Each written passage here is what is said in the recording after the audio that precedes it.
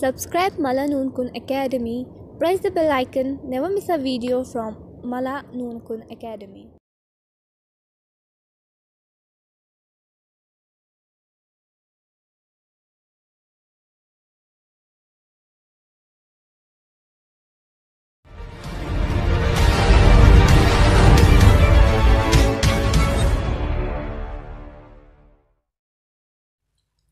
Dear student, today we are going to discuss about J&K Board Exam 2018 Class 10 NCERT science model paper dear student आज हम class 10 NCERT science के model paper के बारे में discuss करने जा रहे हैं इस वीडियो में।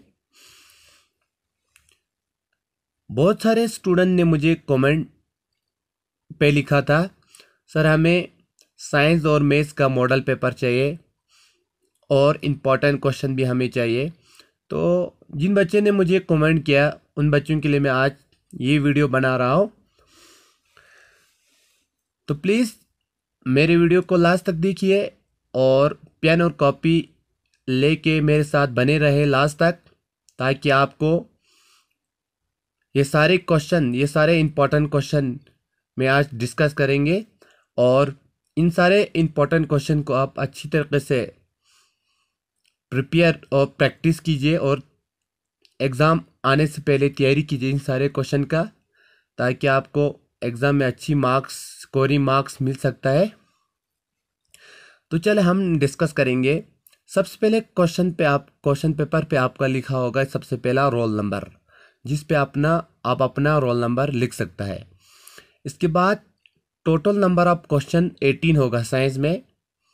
इसके बाद ये होता है बोर्ड का अपना कोड होता है।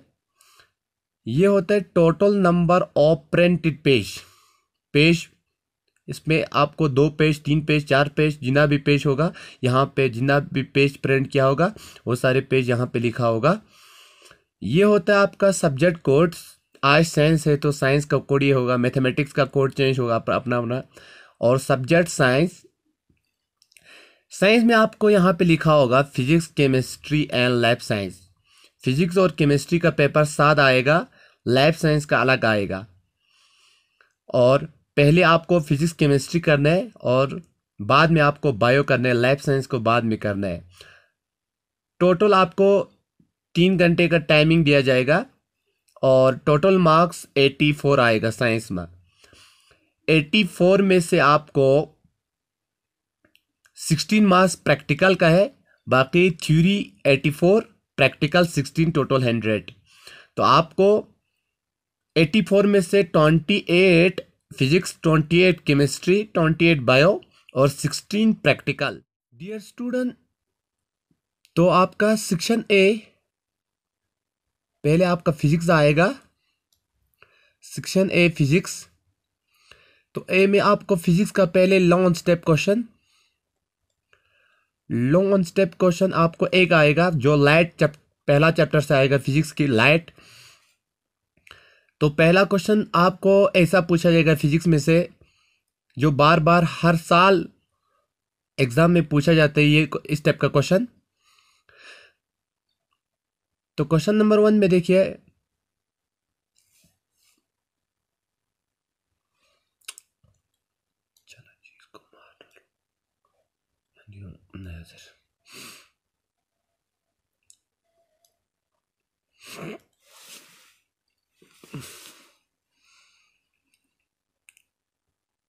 तो सेक्शन फ़र्स्ट में आपका पहले section A physics long step question पूछा जाएगा। तो लॉन्ग स्टेप क्वेश्चन एक पूछा जाएगा आपको। तो उसमें से आपका ये क्वेश्चन बार बार हर साल ये एग्ज़ाम में पूछा जाता है इस टाइप का क्वेश्चन तो ये इंपॉर्टेंट क्वेश्चन है। Ninety nine percent important question ये श्योर क्वेश्चन है। तो देखो ये क्वेश्चन क्या बोल रहे है?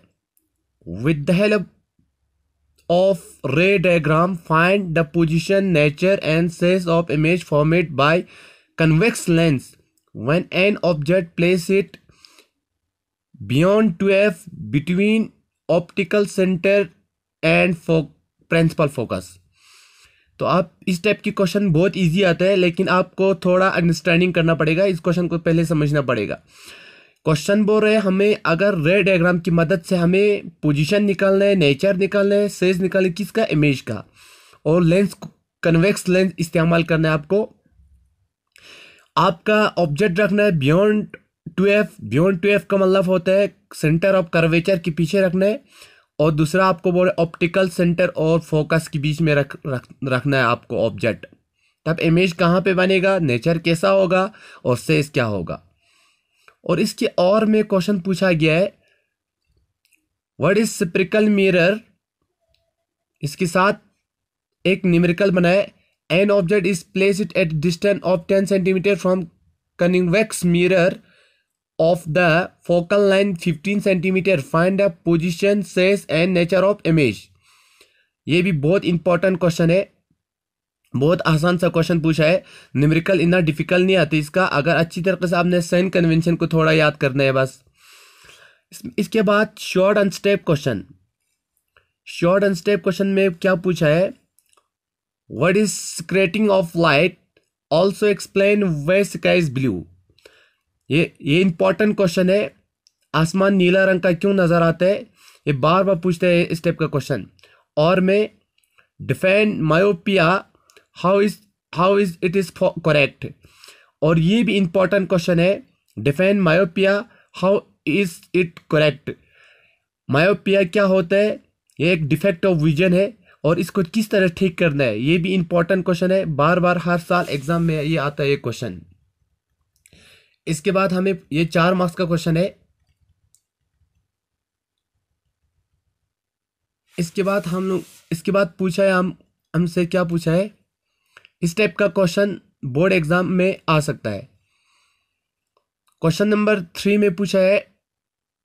ये क्वेश्चन जो इलेक्ट्रिसिटी से पूछा है describe the joule heating and drive the relation H equal to I square R T ये जूल हीटिंग इफ़ेक्ट बहुत इंपॉर्टेंस है और इसकी रिलेशन को भी आपको डिराइव करना है, निकालना है। और इसके साथ बी पार्ट का an electric iron of resistance of two ohms takes a current of five ampere calculate the heat develop in thirty second बहुत इंटरेस्टिंग क्वेश्चन न्यूमेरिकल पूछा हुआ, पूछा गया है। ये न्यूमेरिकल बहुत इंपॉर्टेंस है। ये न्यूमेरिकल आसान भी है। अगर आप हीट, जो आयरन इस्तेमाल करते हैं आप अपने घरों में तो उसमें दो ओम्स का रेजिस्टेंस है, उसमें फाइव एम्पियर करंट पास होता है तो इस थर्टी सेकंड के अंदर इसमें हीट कितना डेवलप होगा। इसके बाद और, इसका और क्या दिया है? दूसरा ये भी इलेक्ट्रिसिटी से पूछा है, ये क्वेश्चन भी। Drive and expression for equivalent resistant it three resistant connect in series and parallel आपको अगर तीन रेजिस्टेंस सीरीज़ में या पैरेलल में जोड़ा जाएगा तो उसका ड्राइव रिलेशन निकालना है। आपको ड्राइव करना है, उसका रिलेशन क्या आता है? टोटल जब तीन रेजिस्टेंस को सीरीज़ में जोड़ता है तो हमें इक्विवेलेंट क्या आता है? और जब पैरेलल में जोड़ता है तो हमारा इसका रिलेशन टोटल क्या आता है? डेरिवेशन इसके बाद क्वेश्चन नंबर फोर मैग्नेटिज्म से पूछा गया है। Describe the magnetic field produce by solenoid carrying current. आपको मैग्नेटिक फ़ील्ड कैस, कैसे प्रोड्यूस होता है किसमें? सोलोनेट में। या और ये भी इंपॉर्टेंस है व्हाट इज़ मैग्नेटिक फ़ील्ड क्या होता है? Give the properties of magnetic lines of force और मैग्नेटिक फ़ील्ड क्या होता है? और इसकी क्या प्रॉपर्टीज़ करेक्टरिस्टिक खसूसियात होता है। इसके बाद very short and step question दो मार्क्स का पूछा जाता है। इसमें आपको लास्ट चैप्टर में से सोर्स ऑफ़ एनर्जी में से पूछा गया है। डिफाइन न्यूक्लियर एनर्जी बहुत आसान है ये। और इसके बाद क्वेश्चन नंबर सिक्स में डिफाइन इलेक्ट्रिक पोटेंशियल एनर्जी क्या होता है? ऐसा यूनिट क्या होता है? ये इलेक्ट्रिसिटी से पूछा गया है। उसके बाद व्हाट इज़ पावर पावर क्या है? एंड ऐसा यूनिट ऑफ़ पावर ये आपको पूछा है लाइट से पहला चैप्टर से पूछा गया है। देखो, इसके बाद आपको एमसीक्यू मल्टीपल चॉइस क्वेश्चन जो होता है मल्टीपल चॉइस क्वेश्चन आपको एक मार्क्स का पूछा गया है। चार क्वेश्चन पूछता है मल्टीपल चॉइस क्वेश्चन तो मल्टीपल चॉइस क्वेश्चन में देखो क्वेश्चन नंबर एट में चूज़ द करेक्ट आंसर आपको सही आंसर को ढूंढना है। देखो most sensitive part of retina स्कालेट हमारी रेटिना में एक मोस्ट सेंसिटिव एक सेल होता है। इसका नाम क्या है? इसका नाम तो येलो स्पॉट से answer LPG is most liquefied LPG gas जो हमारी घरों में यूज़ करता है, वो मोस्ट लिक्विफाइड होती है। इसमें ब्यूटेन होता है। ब्यूटेन इसके बाद रिफ्रेक्टिव इंडेक्स ऑफ़ डायमंड के रिफ्रेक्टिव इंडेक्स कितना आता है? आप सब लोगों को मालूम होगा, ये इंपॉर्टेंट ऑब्जेक्टिव है 2.42 सबसे डायमंड का हाई रिफ्रेक्टिव इंडेक्स आता है। लास्ट क्वेश्चन पूछा गया है मल्टीपल चॉइस में से। The use it by dentist is जो डेंटिस्ट लोग इस्तेमाल करते हैं कौन सा मिरर इस्तेमाल करते हैं वो लोग? कनक्यू मिरर इस्तेमाल करता है? दैट इज़ ऑल ये हो गया फिजिक्स के ख़त्म। इसके बाद हम देखेंगे केमिस्ट्री के। इसके बाद आपको सेक्शन बी इसके बाद आपको सेक्शन बी में केमिस्ट्री सेक्शन बी में आपका केमिस्ट्री होगा। सेक्शन ए खत्म हो गया फिजिक्स केमिस्ट्री में लॉन्ग स्टेप क्वेश्चन आपको कार्बन एंड कंपाउंड से पूछा जाएगा। देखो, इसके बाद पहला question chemistry carbon and compound का क्या पूछा गया? इंपॉर्टेंट क्वेश्चन है। What are unsaturated hydrocarbon describe the types of unsaturated hydrocarbon इसके बाद और, इसके और क्वेश्चन पूछा गया है। Write the physical and chemical properties of ethanol importance है पूरा। ये जो कार्बन एंड कंपाउंड से पूछा है ये दोनों क्वेश्चन बहुत इंपॉर्टेंस है। आने वाला बोर्ड एग्ज़ाम में ये दोनों क्वेश्चन आ भी सकता है। शॉर्ट आंसर टाइप क्वेश्चन, चार मार्क्स का पूछा जाता है। राइट द शॉर्ट नोट्स आपको शॉर्ट नोट लिखना है किस पे? दो चीज़ यहाँ ऑप्शन दिया है ए बी एक और रेंसिडिटी क्या होता है? कोरोजन क्या होता है? ये मेटल एंड नॉन मेटल से पूछा है ये क्वेश्चन इसके बाद define refining of metal explain electrolytic refining of metals ये भी इंपॉर्टेंट क्वेश्चन है।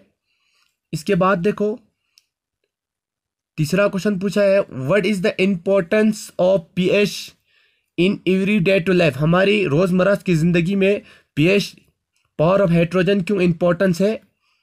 उसके और में पूछा गया है व्हाट इज़ एसिड एसिड क्या होता है? Give an idea of organic and mineral acid organic और मिनरल एसिड में आपको आइडिया देना है। ये भी बहुत इंपॉर्टेंट क्वेश्चन ये last chapter acid base and salt से पूछा गया है। इसके बाद इसके बाद क्वेश्चन पूछा गया हमें। Question number four question number four पूछा गया है define between displacement reaction and double displacement reaction ये जो होता है केमिकल इक्वेशन से पूछा गया है केमिकल रिएक्शन से। केमिस्ट्री की पहला चैप्टर से पूछा गया displacement reaction and double displacement reaction और इसके और में पूछा गया है वट आर रिडॉक्स रिएक्शन क्या होता है? गिव टू एग्ज़ाम्पल आपको दो एग्ज़ाम्पल देना है। ये भी इंपॉर्टेंस है। और where is short and step question दो मार्क्स ईच दो मार्क्स का होगा। इसमें आपको पूछा गया है स्टेट मॉडर्न पीरियडिक लॉ ये इंपॉर्टेंस है बहुत। उसके बाद वट इज़ होमोलोगस सीरीज़ ये भी इंपॉर्टेंस है due to points of difference between soap and detergent soap और डिटर्जेंट में आपको दो पॉइंट लिखना है, इसके बाद multiple choice question multiple choice question में देखो।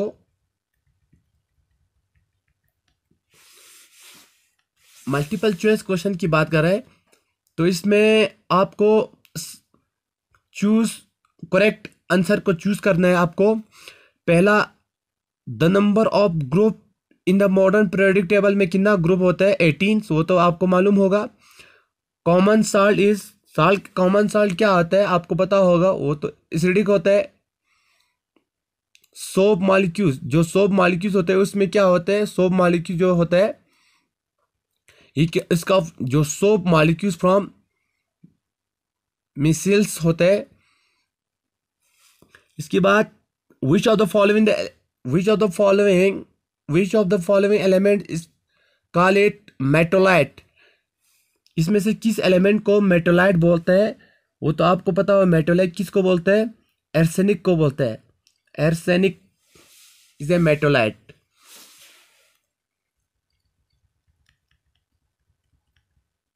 इसके बाद थर्ड सेक्शन में आपका आएगा बायो इसके बाद आपको section third life science section C में आपका लाइफ साइंस होगा। लाइफ साइंस में लॉन्ग स्टेप क्वेश्चन एक पूछा जाएगा पहला चैप्टर से। Describe the human digestive system draw level diagram it diagram के साथ आपको इसको डिस्क्राइब करना है ह्यूमन डाइजेस्टिव सिस्टम को। या और explain how the transport of the water and food materials across plants इसके बाद शॉर्ट एंड स्टेप क्वेश्चन में आपको पूछा गया describe the male reproductive system in human चार मास के लिए।